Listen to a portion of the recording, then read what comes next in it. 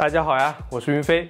之前我做过一期手机稳定器的横评，其中有小伙伴想要更多的了解一下智云的 Smooth 5S，刚好我手边也有，那么就再来一期详细体验测评。智云在稳定器领域，说句实话是非常强的，它是全球智能云台科技创新企业，很多我们现在正在享受的稳定器，有很大一部分是智云创新出来的。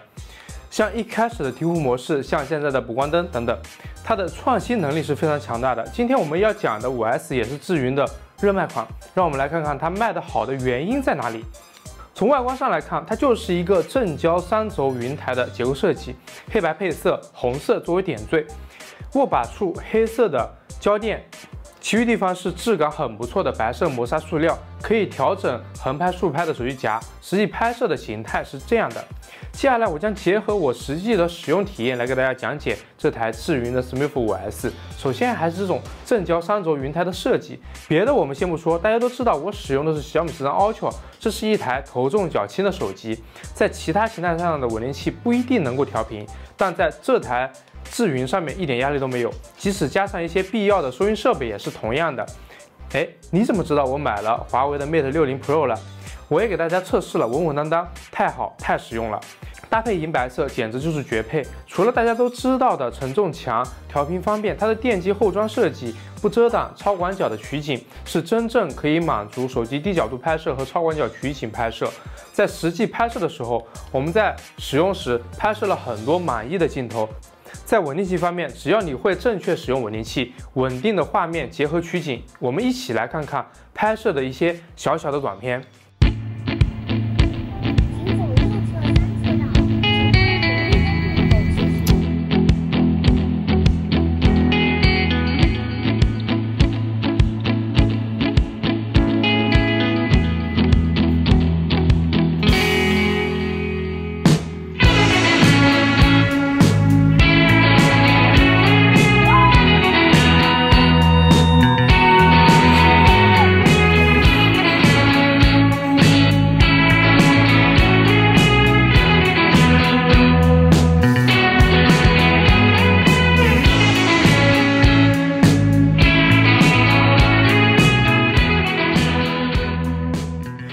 是真的喜欢在稳定器上面安装灯光，这肯定是在从业者的角度出发的。在一些拍摄中，我们会遇到灯光环境很差的地方，而这个时候，如果你带了灯，至少还可以拍摄；但如果没有，就只能狂拉 ISO 了，画面就惨不忍睹了。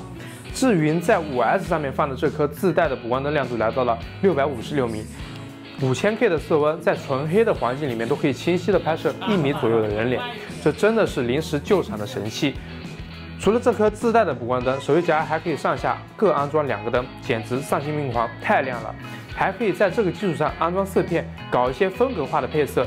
可以看出，智云是真的很喜欢灯，生怕你的灯不够用。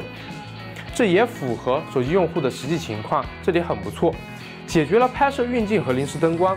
其实我们日常拍摄就已经基本上不会遇到什么问题了。回到它的按键功能，这个功能。比相机稳定器的都还要丰富，大家只需要知道它可以很专业。相机稳定器有的模式它全都有，什么三维梦境、POV 等等都一应俱全。需要使用什么模式，直接在稳定器上面调整即可。最近还更新了前摄拍摄模式，点击后面的扳机四次就可以一键调整到前摄模式，直接就可以同步监看自己的状态，并且进行录制了。好用的功能是越来越多了，不过扳机的按下的键程。对比常用的稳定器来说，还会稍短一些，需要自己适应一下。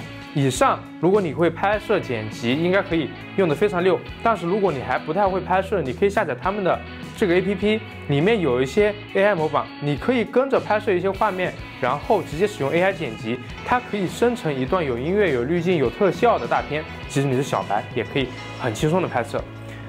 在我这段时间的使用中，我一开始还不太适应使用如此轻缓的稳定器，就是它调得很稳，所以对方向的拧动会很线性、很柔。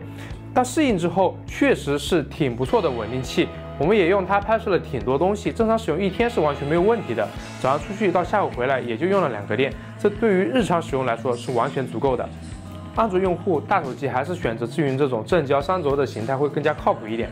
不管是调频还是大角度的拍摄，都会有比较大的优势。有什么疑问可以直接在评论区问我。我是云飞。如果大家在本期视频里面有所收获，请务必点赞。投币支持。那我们下期视频再见。